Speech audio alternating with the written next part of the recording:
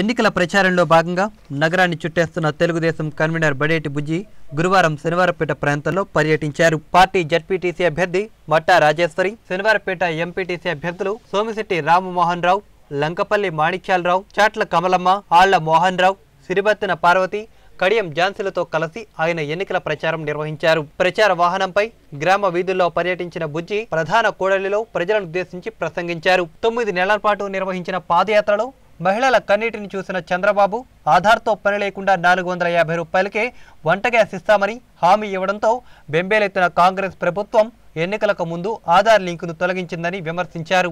రూపాయికి బియ్యం ఇస్తూ నిత్యావసరాల ధరలు పెంచి పేదల జేబుల్ని కొల్లగొడుతున్నారని ఆరోపిస్తూ తెలుగుదేశం అధికారంలోకి రాగానే ధరల్ని అదుపులో పెడతామని హామీ ఇచ్చారు.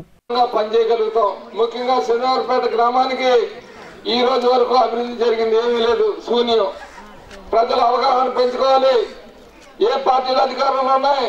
మన గ్రామానికి ఏం చేసి రోడ్లు వేసారా? డ్రైన్లు కట్టారా? ప్రధానమైన సమస్యలు మీరు ఆలోచన చేసుకోవాలి.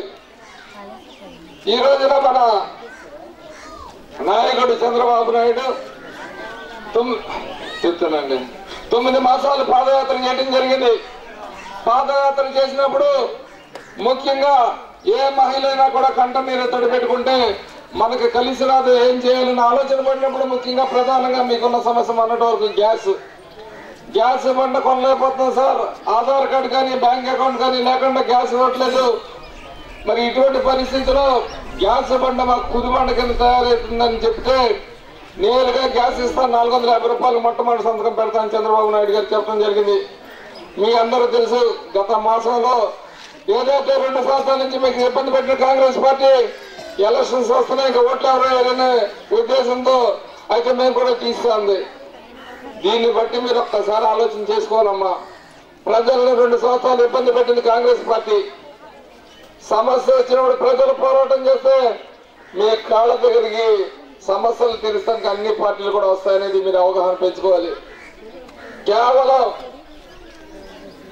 పార్టీలు కేవలం రూపాయి రెండు రూపాయలకి బియ్యాల పథకం పెడుతుంది చెప్తే నిత్యావసర సరుకుల ధరలు మీరు ఒక్కసారి ఆలోచన చేసుకోవాలి.